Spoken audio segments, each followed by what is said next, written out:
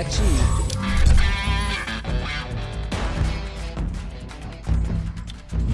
Well, this seems like it's been absolutely forever since I had an opportunity to sit behind a microphone and discuss mixed martial arts. Um, yeah, with the COVID 19 pandemic surging around the world and the quarantine that's been imposed, obviously we've had no MMA until now, and as a result, I opted not to provide any commentary. Uh, just, you know, a couple things. Obviously, my wife's a nurse. Uh, I don't know if I've talked about that in the past, probably not.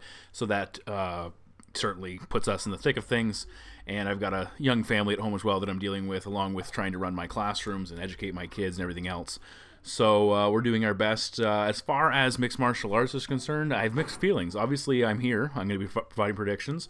I'm looking forward to the event because honestly, the uh, lack of live sports has certainly been difficult, but understandable. And I know a lot of you going through that as well. Uh, but uh, like when the first event was canceled, I was really disappointed that Dana White opted to push forward with uh, you know his plans when every other major sporting organization was opting to put things on hold and to take into account the current the world dynamic and see what needed to be done. Now, I don't know if these events will actually follow through, these upcoming events that are going to happen in Jacksonville. We'll have to wait and see. As of recording this, we're just over a week away, and a lot can happen in a very short period of time, as we recently found out. Nonetheless, welcome back to Kamikaze Overdrive MMA Predictions. Always, I am your host, Scott Johnson. And on this episode of Kamikaze Overdrive, I will be breaking down for you UFC 249, which will take place on May 9th from Jacksonville, Florida. I'll be giving you my five main card predictions on this episode of the show. All of my preliminary picks, as per usual, will be available at kamikazeoverdrive.net. I will also be posting a betting pack as we will be able to bet on live sports once again, so very much looking forward to that. I've actually had some success if you want to go way back to uh, the last time we saw live action. The last UFC event, let's just quickly look it over. The last UFC event. Um, when did it go down? March 14th. So over, what are we looking at here? April. We're well over a month, uh, clo- closer to two months by the time we actually get this event. Uh, since we've had mixed martial arts action, uh, my HBC betting prof, uh, betting packs or my HBC uh, packs have, have, won three consecutive shows, had profit, and my CBCs have had two consecutive shows with profit. So we'll see if we can keep that going. We've got a like a stacked, amazing card, including two title fights to uh, build around for this event. And we'll see how that plays out. And I will do my best to get out my prelim predictions as quickly as possible. And the two subsequent events the UFC are planning as well are going to come in short order, so we'll get fired up for that uh, in the not too distant future. Uh, if you want to follow me on uh, Twitter at KO underscore predictions, you can do so as well. And uh, on that note, and I haven't said this in a long time, let's get to that first main card prediction. Fight number one of the main card goes down in the UFC's heavyweight division as the always controversial 5 and 2 Greg Hardy takes on the undefeated 6 and 0 Yorgan de Castro. Uh, currently looking at the odds, Hardy comes into this matchup as the favorite, uh, roughly in that area of minus 190 all the way to minus 210, depending on what site you're looking at. Probably higher, and will get higher as the fight uh, gets closer. For Yorgan de Castro, the turnaround on him was roughly in that plus 180 range. Now, looking at this matchup and how it all shakes down, Hardy's coming off his first legit loss of his career. Obviously, he had the Allen Crowder disqualification, but he was outclassed and defeated by uh, Volkov in his last fight. But it's a good experience for him, absolutely. For De Castro, he smashed Justin Tafa in his debut in a bit of an upset, brutal knockout finish. Still undefeated, as his record indicates, uh, with four of his six wins coming inside the first frame. Now, for Hardy at six foot five, the guy is a massive gargantuan heavyweight, five inches taller than De Castro. He will have a six inch reach advantage, and Hardy should push the limit at 265 pounds, coming in anywhere from 10 to 15 pounds heavier than his uh, opponents. He's also the younger man by two years.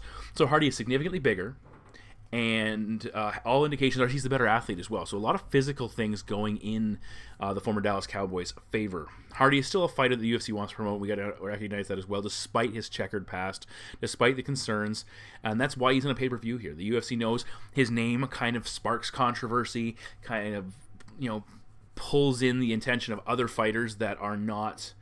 Uh, or other fans who might not necessarily be UFC fans or casuals, and he's certainly uh, they want to capitalize on that. Um, also, he's a huge heavyweight. He's a good athlete, and he's big. He's very marketable as a fighter, especially as he starts to pile up the victories and as he gets going. Had he knocked out Volkov, that would have been a massive push for him right there, built around that. Um, it's also worth noting he's winless in two fights. And the UFC, I would think, is certainly looking to provide him with a matchup that'll get him back in the win, win column. And giving him a relatively inexperienced, undefeated opponent who's very beatable is a perfect opportunity for Hardy to capitalize. Now, DeCastro has faced about the same level or same um, amount of competition but uh, I think that Volkov uh, fight for Hardy and the fact he has more UFC wins are certainly experience advantages that he holds. Uh, and when you look at DeCastro, he hits very hard, as we saw in the Tafa fight. He's got some decent kicks, but he throws some pretty wide strikes that aren't overly technical, and he gets a little bit ugly as fights go. It could be argued that on his, his uh, contenders bout, he was losing right up until he won the matchup. Um, his skill set just isn't ideal to hold off a bigger, more aggressive, forward pushing Hardy. You know, he doesn't have that reach or that technical striking game to punish him every time Hardy comes forward. Unless he can blast him out of there in one shot, it's going to be in some difficult exchanges. Uh, there are some concerns that Hardy could slow down. You know, he's tried to be, he's still, you know, he's on baby legs. He's still trying to figure out, you know, how to pace himself, but still be aggressive and, and do enough damage to potentially score a knock or at least win a decision, but how not to push himself to the point where he exhausts himself and ultimately loses a fight because he gasses out. So, the, but there is a concern that if DeCastro can survive the early flurries in the first round, he could take over and win rounds two and three. That's certainly a possibility. Uh, ultimately, I think Hardy's just a fighter that's growing. He's got a lot of potential. Um, he's got potential to flame out as well, but I think there is potential for him in this fight to show some of those skills that he's built upon. He's taking a sizable step back in competition uh, from Volkov, obviously, a fight he took on short notice. Uh, look for Hardy to continue to grow, benefit from that experience, benefit from the opportunity to fight here. And my prediction is uh, Greg Hardy to defeat Yorgan De Castro by knockout. Fight number two in the main card goes down in the UFC's featherweight division as the 28 and 17 Jeremy Little Heathen Stephens takes on the 20 and 4 Calvin Kattar. Both fighters are currently ranked in the division as last time I checked. Uh, Kattar currently the uh, favorite at minus 225 all the way up to minus 250 with a return on Jeremy Stephens, and he comes in anywhere from as low as or as high or lowest plus 175 all the way up to plus 205, and that number will probably continue to increase as we go. Now, both fighters recently fought pretty solid level, you know, opponents and they both lost, unfortunately. Now, this fight is a very key and influential fight for both of their careers to determine where they're headed, if they're going to be allowed to continue fighting that upper echelon competition, or they're going to take a further step back. Look at Jeremy Stephens, who's been around for a heck of a long time. He lost Yair Rodriguez in a very uh, emotional bout. He lost Zabit. He lost to Jose Aldo. He had wins for Josh Emmett, Doo Ho Choi, and Gilbert Melendez to get him into that position. And now he's taking a bit of a, not a step back, but certainly he's not on the, the streak he was. For Kattar, he lost a fight of the night to the same uh, aforementioned Zabit Magomed in a very good matchup. Previously, he beat former title contender Ricardo Lamas, pulled off a win against Fishgold, uh, lost to Renato Moicano as well. He had wins over Shane Burgos and Andre Fili prior to that to get him, you know, kind of raise his profile a little bit. Now, Kattar's two inches taller. He's got a one inch reach advantage. Now, looking at Kattar first, he's two years younger than Stephens, But Jeremy Stephens has a wealth of experience 46 pro bouts. He turned pro in 2005. He has 32 UFC fights compared to just 24 total pro bouts for Kattar. So Kattar certainly doesn't have the experience, even though he's, he seems like a very experienced and veteran fighter. Stephens certainly has some mileage on his. Uh, on his uh, tires, if you will. But he's he's one of these fighters who doesn't show it as much as some guys, and he's still still in there swinging. Uh, Kattar turned pro in 2007, but he took a sizable layoff fighting between 2013 and 2015. I think he fought just once in that time span. Now, Jeremy Stephens, we're well aware what he brings to the table. He's got that big knockout power. 19 of his 28 pro wins have come by knockout, eight in the UFC. Conversely, when you look at the rest of his record, he's seven and twelve in decisions, uh, nine and seventeen when uh, he doesn't win by knockout. So certainly a sub, uh, well under 500 fighter when he can't knock his opponent out. Now for Kattar, he absolutely has power. Nine of his 20 wins have come by knockout. He destroyed Ricardo Lamas. Fishgold also tastes as well. Took out Shane Burgos in impressive, impressive fashion uh, in his uh, not his debut, but one of his early UFC fights. But the nice thing when you look at Kattar's record, he's eight and three in the scorecards, and his only losses He's got two, you know, the two losses to Moicano and Zabit on by decision in the UFC. Prior to that, his one pre-UFC defeat on the cards came by split decision. So the guy's got, he's got game. He's got the ability to win fights. He doesn't score the knockout.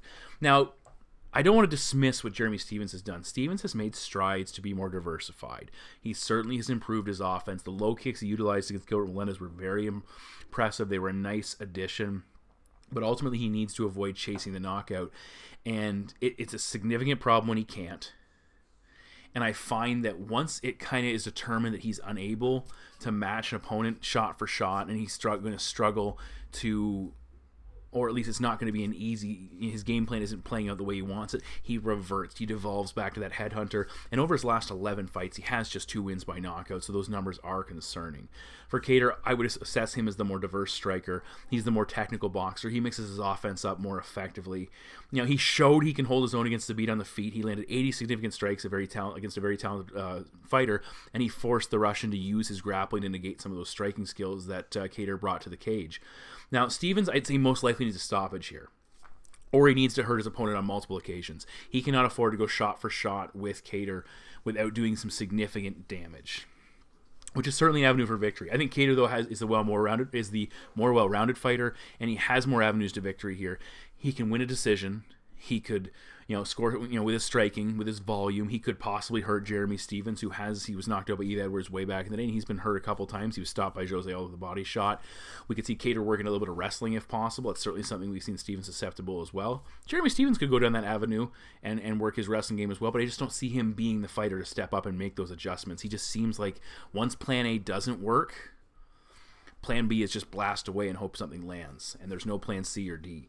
Uh, look for Kattar. I think he's a very smart fighter. Look for him to be very smart here. Avoid a firefight. Keep touching Stephens while avoiding the big strikes. And just after a first round that'll be relatively close, I think Kattar will start to piece him up a little bit. Find his jab, find his counters, find the timing of Stephens, avoid those big shots. And my prediction is Calvin Kattar to defeat Jeremy Stephens by decision. The midway mark uh, matchup on the pay per view is a dynamite battle in the UFC's heavyweight division as former title challenger 14 3 0 Francis Ngannou top ranked contender, takes on the undefeated Jairzinho Rozenstruik, who also comes in as a fighter on the cusp of an opportunity to fight for the title with a victory. Uh, looking at the current odds, we've got Rozenstruik as a sizable dog around that 2 plus 250 mark. Well, uh, Ngannou anywhere from minus 270 all the way up to minus 300 and beyond. Now, this is a big fight as the winner potentially will get a shot at uh, the title in the not too distant future once the Stipe DC three fight either happens or is passed by. The winner of this matchup will probably be right there. Now, for Francis, he's 3 0 after his title fight loss and post title fight letdown. And the guys he's beaten, it's, it's been solid. He beat out Curtis Razor Blaydes, another guy who's basically showing he's right in the mix for a title shot. He took out a shell of Cain Velasquez, and then he stopped JDS, who had been making some moves as well and climbing the ranks uh, in a re-attempt, an attempt to return to the uh, title contention ranks. Now, in those three fights, he had a he had less than a combined two minutes and thirty seconds of overall fight time, which is you know something to take into account. He's been getting guys out of there quickly, but not overly tested. For Rozenstruik, he's coming off his fourth UFC victory. He's undefeated in 10 pro, pro bouts. He had two very quick wins over Andrei Arlovski and Allen Crowder, 38 seconds combined for those two fights. Um, he went a full five rounds, last four seconds against Alistair Overeem, which was you know crazy, and we'll talk about that momentarily. Now both men are six foot four. Ngannou is five. Will have a five-inch reach advantage. He's five to ten pounds heavier. Uh, Rozenstruik is the younger man by two years. Now, for Jairzinho, Jairzinho again, I'm probably mispronouncing that. He's had an interesting UFC career. He lost the first round against Junior Albini in his debut, and then finished him very quickly in the second frame. He had the two quick wins we previously mentioned. Then he almost lost the entire fight against Andrei Arlovski or sorry, against Alistair Overeem, I had Rozenstruik win that matchup, and I had a lot of money come my way when he did win that matchup. But he lost it, pillar to post, until the final couple seconds where he basically knocked him out. He had some moments, but, you know, the performance was concerning as far as I'm concerned. He didn't show a lot of urgency or the ability to change a game plan, and he was taken down. He struggled in some positions, and he kept looking for the same opportunities. And had Overeem not, you know, got a little bit tired, got a little bit vulnerable, and got ultimately knocked out, we're not even having this conversation right now. Most likely, we're seeing some another fight uh, materialize um, for both of these individuals. Now, you know, you also consider the fact that he, he knocked a guy out who has 14 career losses by knockout as well. So it's not like he, he cracked someone some guy's chin that he basically broke down over a measured five round you know performance. It was a relatively uh, it was a brutal knockout, but it certainly has an asterisk beside as far as the significance of his performance, what it means to his career. He probably loses the fight otherwise. That doesn't probably he absolutely does. Now Rozenstruik is an absolutely talented striker. He's got good skill, got timing, he's got power, obviously. He's a confident fighter. But he didn't have an answer for the more complete MMA game of Alistair Overeem until he, he did at the very very last moment. Uh, is he a pure knockout artist that hasn't quite adapted his game to mixed martial arts? You know, there's the possibility. He has arguably lost every prolonged round where he hasn't stopped his opponent in abrupt fashion. He's arguably lost any long, you know, every every round he's fought in, he's lost, with the exception of the ones he finished his opponent in. That's certainly something that's concerning. Uh, Ngannou has looked unreal since the letdown fight against Derrick Lewis, which I'm going to dismiss because it was a post-title fight letdown. He's finished multiple opponents very quickly. He did beat guys with a history of knockouts, which is concerning, or guys who are not in the greatest of spots as far as, you know, Cain Velasquez is a perfect example that went on to pro wrestling after the defeat. You know, and Francis, he's a knockout artist as well, but and he has that power. He has a varied striking offense and he can he, he can be hit with some big shots. He hits guys with big shots. His chin has not shown to give up yet on him. And while he looked terrible against Derrick Lewis, I'm looking past that. You look when he fought Stipe Miocic, Ngannou had a very questionable performance, and Stipe had to negate the striking and go to his wrestling and capitalize on that. Something that Rozenstruik's not going to have to his advantage. Overall, Ngannou is the more capable fighter here. He's the more varied fighter. He has the more avenues to victory. Is Rozenstruik the better pure striker? Quite possibly, absolutely but this is MMA. Is he the better MMA striker? We don't know yet. We, we're I, I'm not willing to, to stake that claim because there's more to MMA striking than pure striking. There's the elements of having to be prepared to defend grappling and clinching and all these different things that exist within mixed martial arts that don't exist elsewhere that you have to focus on and build your striking game around defending and, and dealing with. You know, I would say Rozenstruik's best approach would be to sit back and counter Francis as he presses forward, use his aggression against him, land big shots, hurt him, back him off, make him start to question, see if he can get that deliberate uh, striking a, a, game into rounds three, four, and five. Get get Francis slowing down, get the timing, and possibly knock him out or at least pick him apart with uh, combinations. But Ngannou's chin, as I previously mentioned, has not been cracked yet. He's been hurt in fights. We've seen him take some shots. You know, he's not been perfect, but he's been pretty fucking damn good. And at heavyweight, that can change in a blink of an eye, but again, we can't bank on that. The gap on the mat here in this is far greater, and that's what the concern is here. Francis will be absolutely dominant once they hit the ground. Rozenstruik had very little offer off his back against Overeem he seemed lost at times. Had Overeem secured a takedown in those final final minute or so of that game, he pro- of the last fight, he probably wins. It almost seemed like Rozenstruik he was either going to hang out and wait the round out and look to restart in the next round, or for the ref to stand him up. Had Overeem been more aggressive from the top position and been able to get to mount and, and rain down some big shots and not get tied up, he could have got a stoppage in that pos- in that fight. Francis is also a submission threat. He had that beautiful submission over Anthony Hamilton the one time he submitted a guy in the UFC. He can score takedowns. He's been better on the regional scene when it comes to grappling and submissions because he hasn't had to rely on it here. But he absolutely could go there here. Look for Francis to exploit Rozenstruik in the mat.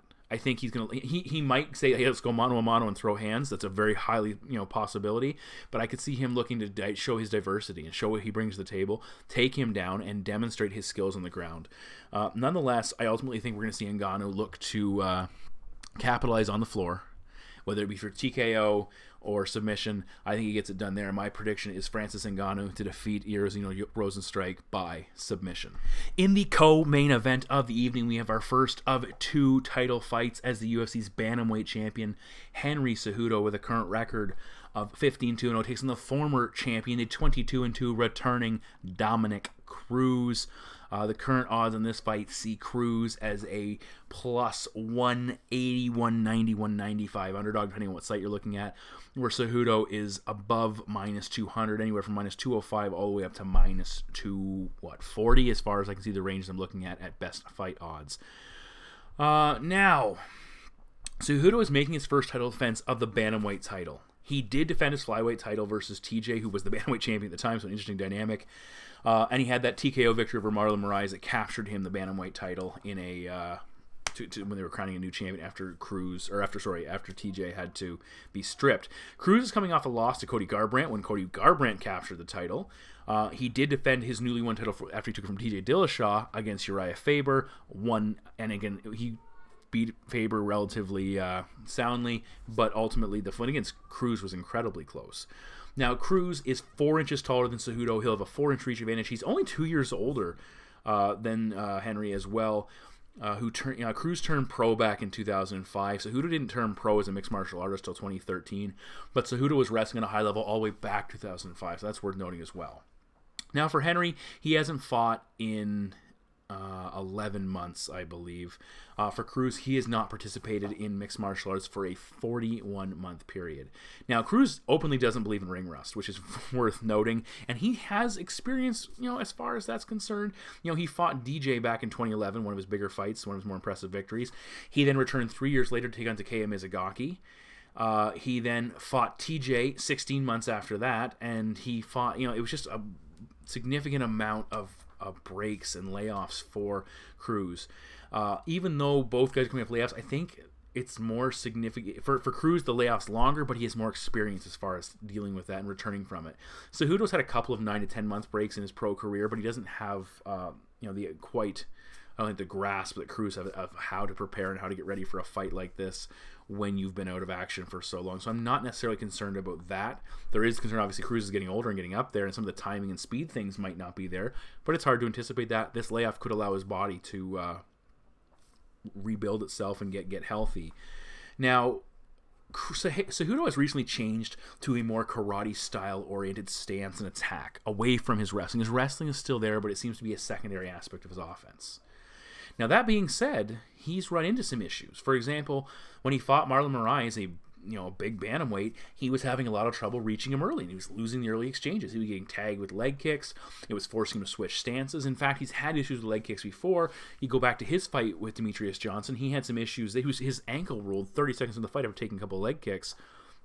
So there certainly were some issues there with those distance strikes. Now, when he fought Marlon, he turned the tide when Marlon started to fade and ultimately crashed in round three. You know, that fight, because when Marlon started to slow down, that fight started transpiring at a closer range, whether it was, it was with wrestling or, on, or striking, Cejudo was able to get on the inside and find success because he started to fade. Against fresh fighters, we have seen some issues with length and variety and volume for Henry Cejudo. You know, DJ had a lot of success faking and feinting and drawing out Cejudo's offense and forcing him to react in a very close fight that I'm not necessarily sure. I think D, uh, DJ lost. Again, I have to go back and watch it another time, and I, when I'm not prepping and watching only Henry Cejudo, but still, it was a very close fight. But you have to wonder when you've got a guy like Cruz who uses the level of movement he uses, is that going to create issues? Is that going to make it very difficult for Cejudo to find him with relatively relative uh, uh, regularity? Now, when you look at the volume, Cruz's volume well, not super powerful. He's not going to one punch blast a guy unless you're Takeya Mizugaki. Uh, but he's he's very active, he's varied, and he's, you know, over his last five fights to go the distance, he's landed 90, 60, 112, 87, and 80 significant strikes. Those are some pretty sizable, good numbers against championship level opposition. For Henry Cejudo, just 51 against Demetrious Johnson. He did land 90 in the Marlon Moraes fight, but a lot of them were unanswered ground strikes at the end. He kind of pushed those numbers up. Three rounds against Sergio Pettis, just 36 strikes. Against Benavidez, over three rounds, 68 strikes. So he hasn't really shown us he can put up the ridiculous volume on a consistent basis, or that's that upper level volume, especially against a fighter who might not slow down, who might not allow him to get in close. Cruz has great takedown defense, so you have to take that into account as well. He has been tested by multiple wrestlers. He's been taken down periodically, but not. It's very difficult to take him down. It's very difficult to keep him down. And while Cejudo's an Olympic wrestler, again, this is mixed martial arts. There's more to it than just that. We've even seen Cruz take down some very good wrestlers in his own advantage and in his own, uh, you know, giving him the nod there. And he he will have a size advantage in this fight. It's also worth noting he's going to be the longer, taller, you know, arguably bigger man here. Now, if Cejudo can't close the gap with his striking, because you know with Cruz's specialty of movement and distance management and the ability to just fake and feint, if, and if Cejudo can't take him down, that's going to make it very difficult for him to land offense. You know, TJ, a longer fighter than Henry Cejudo, with good wrestling in his own right and speed and movement and power, struggled to reach Cruz for long portions of that fight. And if Cruz doesn't drop off in rounds three, four, and five, you have to wonder, will Cejudo drop off? At times in that matchup, people were criticizing Cruz against TJ for moving towards his power left kick, I believe they were talking about. And then Cruz, it, it was almost like he was baiting him, and TJ started throwing it, and it wasn't landing. And you start to realize that, you know, more than more so than punching, leg kicks, especially high kicks, take a lot of energy out of you, especially when they miss. And you almost started to wonder: Is Cruz baiting him? Does Cruz feel he has a pretty good read on it? And is he baiting him to throw those kicks and trying to drain his energy bar? And, and we saw TJ got more flat footed, had a lot of trouble reaching him. And with Henry Cejudo, is that something here? When he starts swinging and missing, especially when he tries to flurry and move, close that gap, If he does that for two or three rounds, are we going to see him start to, to break a little? Are we going to see start, him start to slow down? Something he's capitalized in, uh, you know, in other fights. Cejudo's not going to be bigger in this matchup like he was against DJ, or he's not going to have better cardio like he did against Sergio Moraes. Those are two key things he's going to have. He needs to have success with. I like Cruz to land just enough offense, but he's going to magnify it by avoiding a lot of what Cejudo throws, making him swing and miss, making him chase, making him throw flurries, and avoid them. This could be a split decision. This could be a very close fight that you know could be dissatisfying for people, but I think we see just enough out of. Uh, Henry Cejudo being the bull and Cruz being the matador and countering and landing offense in his own right to warrant a victory here. This would be, I don't know if it's unprecedented, correct me if I'm wrong, please. This could be unprecedented seeing a, a champion recapture his title for the third time when you consider the, the, the gaps, you know, 2011, 2016, and then 2020. That's very impressive. Nonetheless, my prediction is Dominick Cruz to defeat Henry Cejudo by decision, possibly split. Finally, we move to the main event of the evening in one of the most anticipated fights of all time. Almost. This is a great matchup. Let's not play it down, but it's not Tony Ferguson versus uh, Habib Nurmagomedov, which may never happen. Nonetheless, we're in the UFC's lightweight division as the 25-3-0 Tony Ferguson and the 21-2-0 Justin Gaethje go head-to-head for the interim UFC lightweight title with the right to face Habib on deck or after Habib Conor or face Conor or something. Um, coming into this matchup, Justin Gaethje is the current underdog around plus 165 and Tony Ferguson roughly plus or minus 170, or minus 190, depending on what site you're looking at. Now, this is a massive high stakes fight. It kind of that's that goes without saying, even though I said it. Uh, and there are incredibly distracting circumstances surrounding all of it. You know, Ferguson could lose his Habib fight, fight once and for all with a loss here. You know, with Nurmagomedov having limited fights left behind him, you know, we would see Tony lose this matchup, obviously fall behind Gaethje, most likely fall behind Conor as well, and never get his opportunity to fight Habib, who might only fight a couple more times before his career's done. Tony comes into this fight having won 12 in a row, including nine finishes. His last loss came all the way back in 2012. Uh, he only fought once a year since 20. He's only fought once a year since 2017. Um, and it's almost been a year since his last matchup, but the guy's been a monster, and we've been waiting for this opportunity for him to another get into another high-profile title fight, even though it's not exactly the one we're looking at. For Justin Gaethje, he debuted beating Michael Johnson in a very entertaining matchup that cost me some cash. He lost to Eddie Alvarez and Dustin Poirier, and again, incredible wars that kind of springboarded those two individuals into uh, bigger opportunities. But then he since he's had a trio of knockouts over James Vick, Edson Barboza, and Donald Cerrone, all in the first round that have got him here.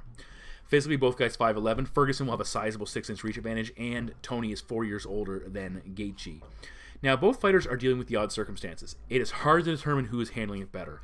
If you put a gun to my head and said who's going to handle it better, I go with Ferg. I think Tony is just a little bit cuckoo for Cocoa Puffs, more so than the average fighter but that actually plays to his strengths here because he will just seem to I think he'll just dismiss the oddities of this fight and the circumstances and he will do better.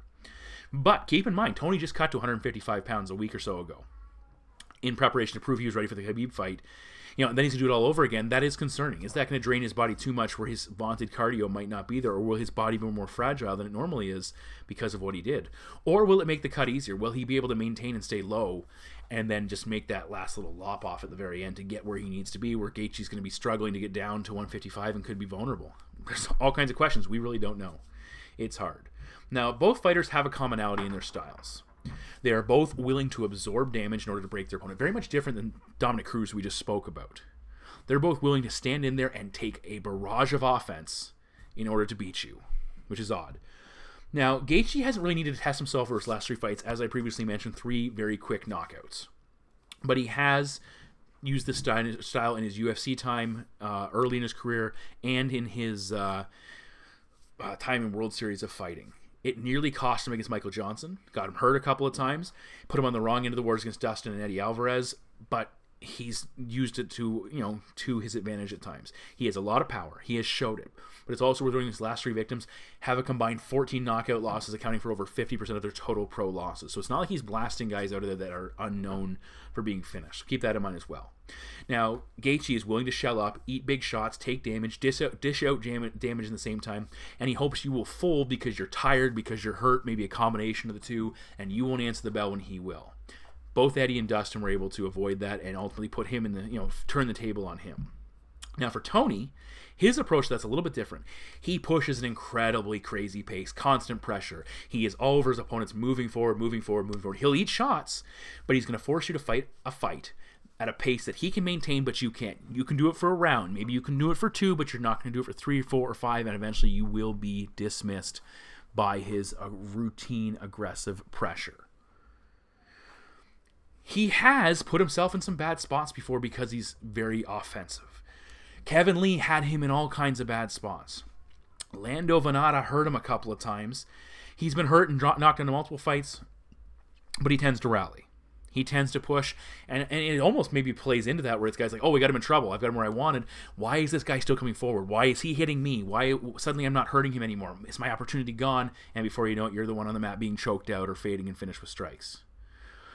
Ferguson is not the type of fighter you want to allow to get rolling, start building up offense on you. He has that unreal cardio. He hits hard. He's got a long reach, good striking, good grappling. He just has a complete package. Maybe short of some defensive, maybe short with some defensive uh, deficiencies. Gaethje hits exceptionally hard. He's got good wrestling in his own right. He's pretty durable. It takes a little bit to get him out of there. And Ferg doesn't want to eat big shots from him. I don't think on a regular basis. So one of these guys might uh, you know, need to change their game plan or ultimately make adjustments to, to come out victorious here again, I don't like the fact that Tony's put himself in the bad spots on the mat again against in Lee, but Gaethje is known for not using his wrestling, not wanting to get on top of guys and, and ground them and, and bust them up.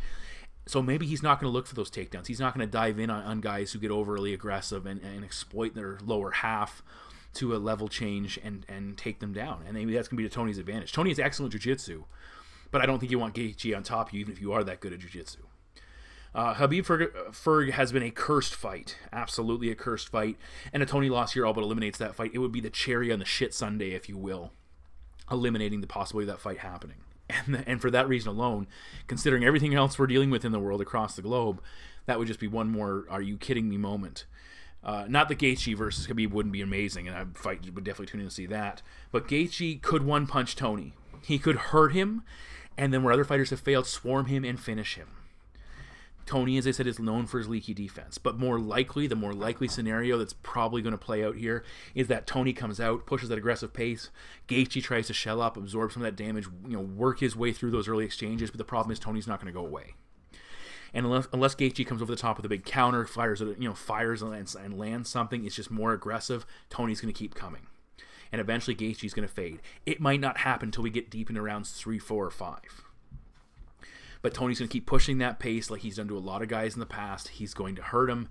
He's going to overwhelm him. You'll see Gaethje, you know, his he's got he's a good kicker, but those legs will get heavy. He's a good puncher, but those arms will get heavy.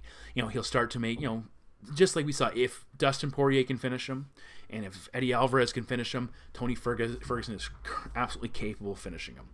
I would anticipate it would come strikes, maybe a possibility of locking up that D'Arce if he if Gaethje gets tired and goes to the ground. But my prediction is Tony Ferguson to defeat Justin Gaethje by TKO. So those are my five main card predictions for the UFC 249 event. Maybe we're seeing the event, maybe we're not. Either way, I'm looking forward to it if it goes down. Uh, all of my preliminary picks will be available at kamikazeoverdrive.net. You can follow me on uh, Twitter at KO underscore predictions. And of course, my bet packs will be available. We'll hope to get back into the swing of things and kind of keep that little hot streak we had going over a month ago when we last saw live mixed martial arts. Uh, very much excited for the card. Do I agree with it going off? Not 100%, but I get the sentiment to a degree, and I will certainly tune in and be excited and enjoy it start to finish. I hope you do as well. I hope your families are well. I hope everyone is looking after themselves and uh, hanging in there, and that we have better times ahead of us. Nonetheless, thank you for tuning in, guys, and I will talk to you maybe in a very short period of time, maybe not for a long time. Take care. Hi.